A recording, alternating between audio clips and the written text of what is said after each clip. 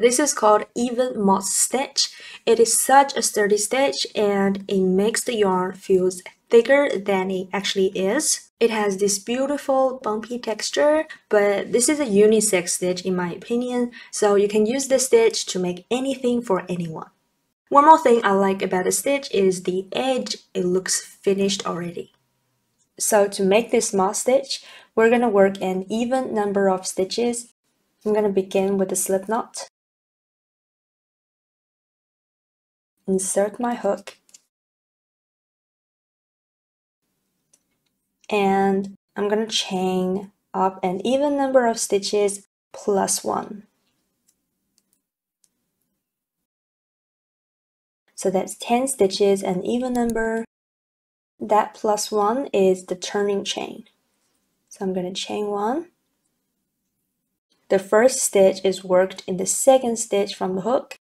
So you can insert your hook like this, but I always like to work in the back loop. So in the second stitch from the hook, one, two, I'm going to turn my chain and find its back loop I'm going to insert my hook and make a slip stitch. So I'm going to yarn over, pull up a loop, and pull the first loop through the second one. And then the next stitch, we're going to work a half double crochet. So I'm going to yarn over first for a half double crochet, insert my hook in that stitch, in the next stitch, back loop, yarn over, pull up a loop, and yarn over, pull through three. And then we're just going to repeat these two stitches. One slip stitch, one half double crochet.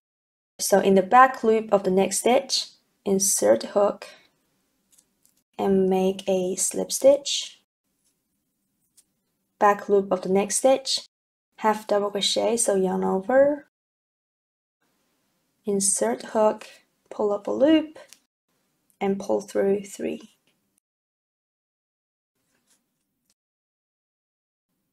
So next stitch, slip stitch, and next half double crochet,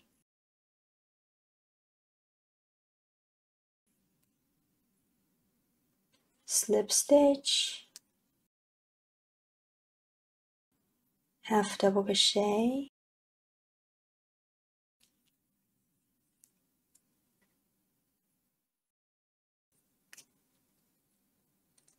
slip stitch and your last stitch should be a half double crochet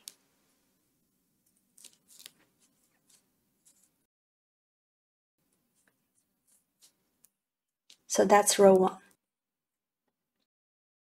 to begin the next row, I'm going to chain one and turn my work. Okay, that's the first stitch. So starting in the first stitch, we're going to do exactly the same thing as row one, which is one slip stitch in the first stitch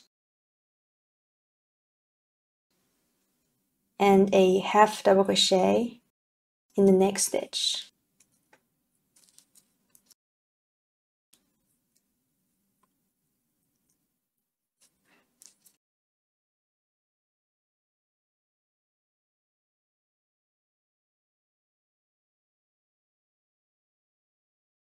And you're just gonna keep repeating that one slip stitch one half double crochet one slip stitch one half double crochet all the way to the end of the row and you should be ending each row with a half double crochet and at the beginning of each row chain one and turn and repeat the same thing again this is a bigger sample. My beginning chain is 20 instead of 10 and I also did 20 rows as well. So this is what it looks like with 20 by 20.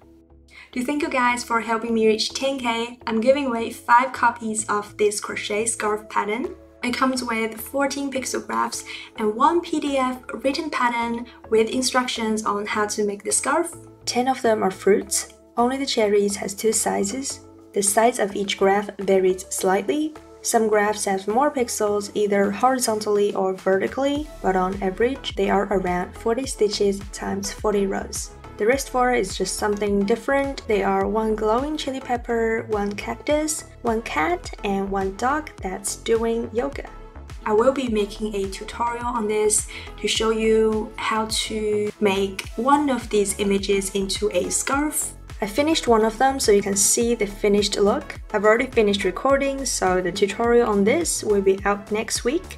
So even if you don't win, you can still make this chili pepper following the video. I'll also be making one more with the cherries, but that one will come later, hopefully right after this chili pepper, but I'll be sure to put it out as soon as possible. With the rest images, you can win them in this giveaway or purchase them in my Etsy store.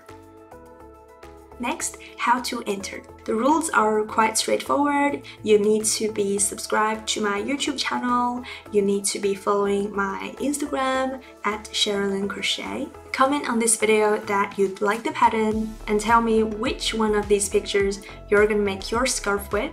Other important information like when does it open, when does it close, I'll put it on the screen. Please take a moment to read it. Anyways, I'll see you guys next week. Good luck.